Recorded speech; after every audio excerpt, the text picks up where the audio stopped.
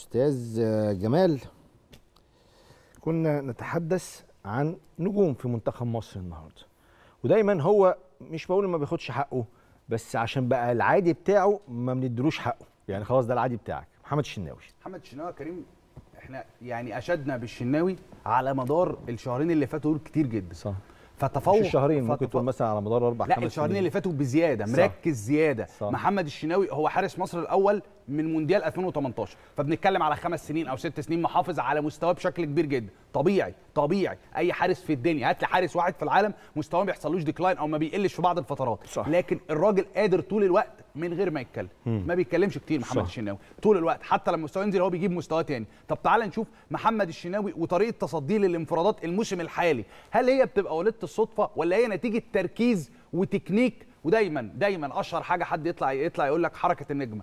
دايما في كرة اليد يقول لك الحارس لما يجي يطلع هو دايما عشان يشغل أكبر مساحة من الجون مهم جدا إنه يطلع يفرد يعمل stretching بإيديه الاثنين ورجليه لكن ميزة محمد الشناوي إنه مش بيثبت هو بعديها بيفضل عينيه على الكورة طيب دي التصويبة الأولانية على محمد الشناوي النهارده في وقت كان ابتدى الجزائر يضغط بشكل كبير دي أصعب واحدة في المباراة كمل وامشي frame frame frame frame بس بس كمل كمل بس وقف هنا وقف. لا ارجع تاني ارجع تاني ال stretching اللي عمله محمد الشناوي ده يا كريم هجيبه لك. عمله السنة دي في الدوري مرة واثنين وثلاثة وأربعة رغم الأهلي بيكسب أربعات وثلاثات كل المباريات تقريبا حتى في إفريقيا. فأنت بتتكلم على إنه بيروح عليه واحدة أو اثنين. النهارده اتشاط عليه واحدة أو اثنين.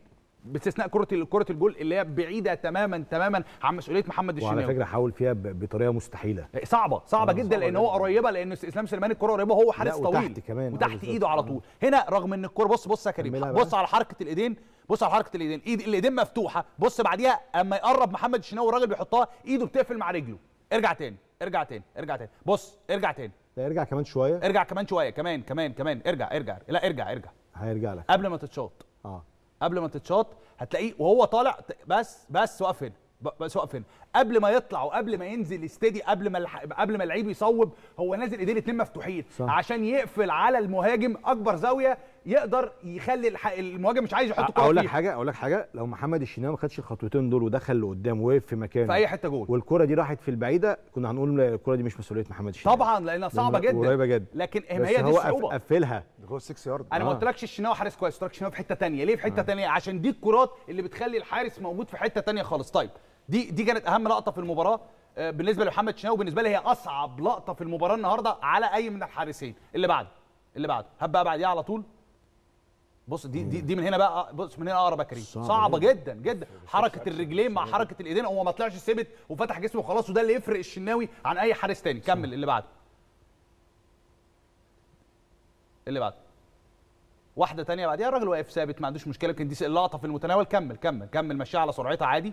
يمكن دي لقطة في. وقف هنا بقى وقف هنا وقف هنا وقف هنا وقف هنا. بص يا كريم الراجل دايما الخطوتين بيضل بيضلم الدنيا. دايما بقول لك إن حارس المرمى لما يطلع أول ما المهاجم يرفع عينيه عشان يحط الكرة لازم يلاقي الحارس قافل له كل الدنيا. ضلم له الدنيا بلغة الكرة ضلم له الدنيا. بص هيطلع هنا يعمل إيه؟ بسرعة مشي له مشي له مشي له كمان.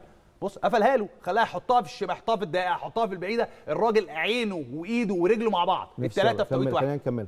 كمل كمل كمل. نفس نفس نفس الكورة نفس الكورة. طلع قفلها له تمام. رغم اختلاف اللعيب رغم اختلاف الموقف رغم انها انفرادات سهلة جدا. نفس اللي. بعديها اللي بعديها نفس القفلة نفس القفلة. حركة بإيديه الاثنين ورجليه. كل ده أنا بكلمك على مباريات متتالية في لقطات متتالية انفرادات صريحة جدا. لو دخلت محدش هيحمله مسؤولية الأهداف فالشناوي ربنا يحفظه. في حتة تانية خالص تاني. بنتكلم على حراس جيدين وحراس بعيد قوي عن محمد الشناوي. فمحمد الشناوي في حتة تانية بعيد عن أي حارس تاني. ده فيما يخص محمد الشناوي. وجيمي اداله حقه تالت ومتلت. خلاص اللقطة دي.